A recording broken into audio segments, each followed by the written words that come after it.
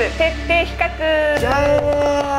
最近ねめちゃくちゃ流行ってるこのグラブケース、今回はこの水のプロとプロステータス。これを比較していこうかなと。おやっぱりねいろんなもの出てるけどもその中で何が違うのかっていうところを見ていこうかなと思います、じゃあ早速プロステータスの方には2個入れと1個入れ。これがあるんだけども、うん。このねまず2個入れを比較していこう、並べて分かります、うん。これでしょ？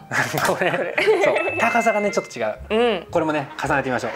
幅は大体一緒。うん。うん。と中からね開けましょう、はい。では開けてください。じゃあプロステータスから。こちらは。ちなみに開けやすいですどっちも。あ本当。そこも低く。かかりはない。こんな感じで2つとも真ん中に仕切りがついてます、うん、でどちらもマジックテープの仕切りを外せてこうすることができる。で水野の方はうん。ここにね固定用のテープもついてます、うん。Z の方は固定用はついてません。ついてない。はい。あこんな感じになっちゃう、うん。下の部分に、両方とも両方ともメッシュポケットがついてるね、こっちはちゃんとチャックになってるのねそうだね。はこういうタイプ。正面も水野の方はちっちゃいポケットがついてるね。うんうんうん。Z にはついてませんと。と横も。お横？水野にはポケットがついてます。ポケットついてるでもう一個。上部、まあ、持ち手は両方ともあるけど水野の方がしっかりしてるうね。とここにねなんか特殊なのがついてるね。これは何でしょこれはね刺繍なんですよ。刺繍で名前とうかなるほど。入れれる刺繍。あ本当だ。それに入れてここに入れられると。そうです。入ります。はい。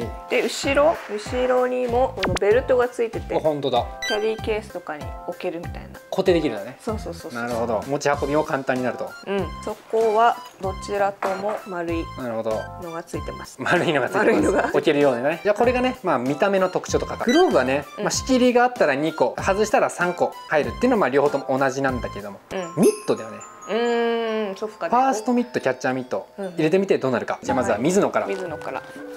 閉じてうん。はい綺麗に入りました。入ります。はい。じゃあ続いてプロステ。でファーストミットを入れて閉めます。締めまはい。あーなるほどね。うんうん。プロステの方が高さがちょっと低いから、うん。縦にこうやって入れちゃうと引っかかっちゃうと。そうね。ちょっとそこ注意だね。うん。じゃあこういう場合はあれだ。真ん中を外して。うん右を外して、まあ、でちょっと斜めとかだね。うん縦じゃなくて？そうそうそう。そうそうすれば、うん。うーんうん入りますね。入れ方なんだね。そうだね、うん。というわけでここちょっとね一箇所注意ポイントがあったね、うん。じゃあねこの1個の方はどうでしょうか？ということではい、はい。お願いします。ファーストミット。ん。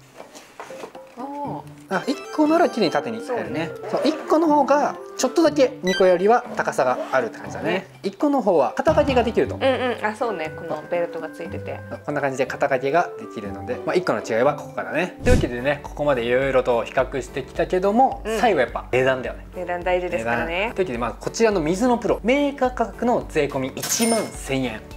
でプロステは？8690円。なるほどね。ここがちょっと違うね、うん。で1個入れは？1個入れは6490円。なるほど、うん。やっぱね水のプロの方が結構ポケットとかね、まあ、高さとかもあるからうん。ちょっと高いって感じがするね、うでもやっぱねこう結構機能もあるから本当好きな方、この比較してみてちょっと参考にしてもらえたら嬉しいなと思います、というわけで今回の動画は以上になります。チャンネル登録グッドボタンお願いしおます。願いします。今回のお題は野球あるある失敗編。サインミスしたら。